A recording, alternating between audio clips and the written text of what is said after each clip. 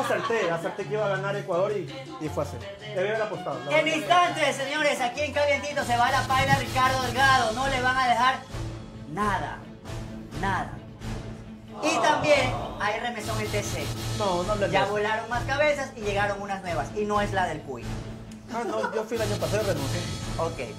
Vamos a hablar quedado, con la verdad. Margaret Camposano. ¿Qué pasa?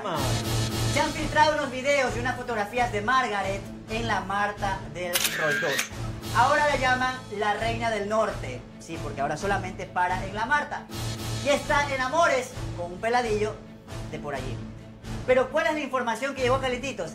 Que ese niño o ese chiquillo sería medio cacherito, por no ¿Qué? decir cacherito entero.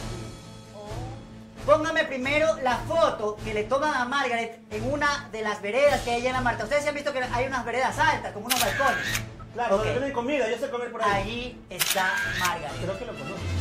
rezándole al divino niño. Mira, que arriba está el... Divino niño. Ok. Queda por el parquecito. Sus propios amigos de este niño es quien la han vendido y quienes filtraron esa fotografía. ¿Dónde conoció? Según lo que me ha llegado la información, lo conoció en la fiesta de Manfred Vargas. Uh, Sodoma y Gomorra esa fiesta. Allí empezó todo. Y ahora este chico que usted está viendo en pantalla es quien le maneja el carro, quien la lleva al gimnasio, quien lo tiene de camarógrafo para que le grabe los TikToks, los bailes y demás. La gente está realmente sorprendida porque dicen que con este chico no le espera nada bueno. E incluso hicieron la maldad completa y mandaron las fotografías de quién habrá- habría sido la pareja anterior de este jovencito. ¿Y quién era? Póngalo por favor No. para ver esa fotografía que está con otro chico, creo que estaban vestidos de blanco ambos y hay otra más también donde parece que pasaron Navidad juntos. ¿Por qué dices que tiene fama de cacherín? Eso, eso es lo que nos comunicaron acá. Ah, ya, la información que te llegó. la que el cyberchisme. El cyber y aparte, no, aparte sí están las fotografías, deja que las busques hasta mientras, pero vamos desarrollando el tema. Yo doy fe de, que ellos estaban juntos en el cumpleaños de Maffer Vargas porque no solo lo vi, saludamos, bailamos entre todos juntos y ella lo presentó como su novio.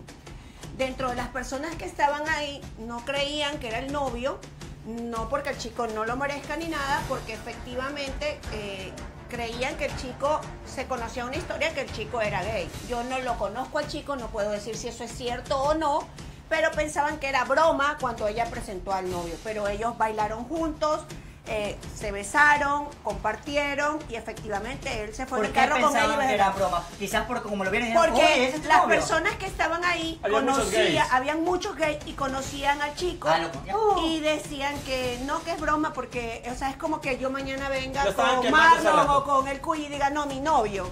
O sea, es una broma, ¿ya? Entonces ¿Y, y así por qué le pones de ejemplo? Porque yo jamás contigo o pongo sea, otro ejemplo. de realmente que mal. sería una broma terrible, pero La sería gente- una De broma. mi lado también, discúlpame.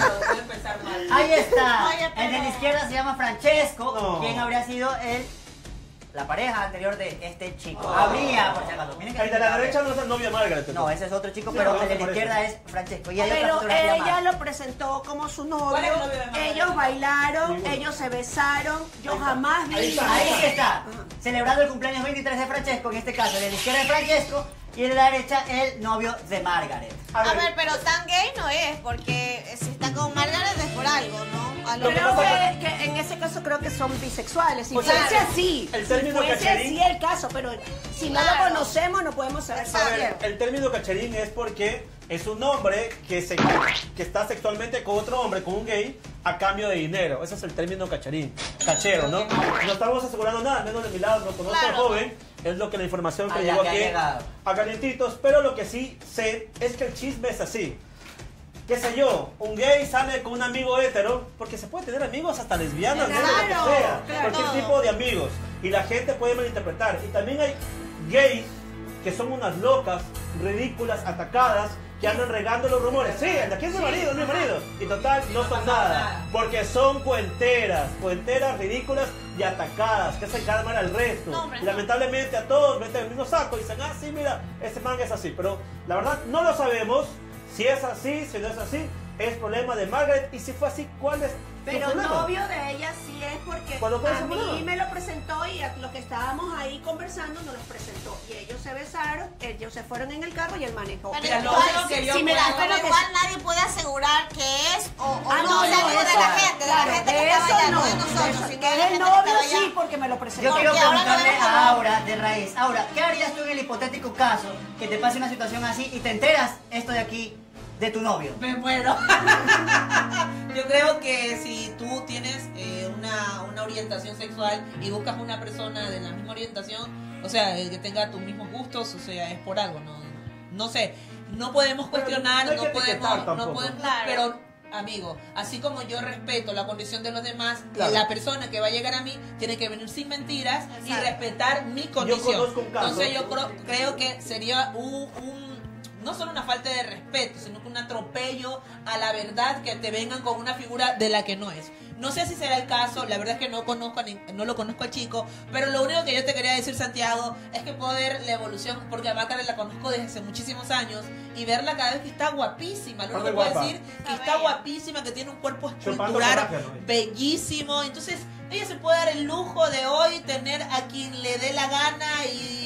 y Y escoger hombre que le dé la gana. también. Entonces, si es, no es, si no es, o sea, es problema de ella y quien se está disfrutando este momento sencillamente es Margaret Ok, dejamos el tema de Margaret, vamos con más recuperaciones y en instante la paila, Ricardo Delgado, prepárate.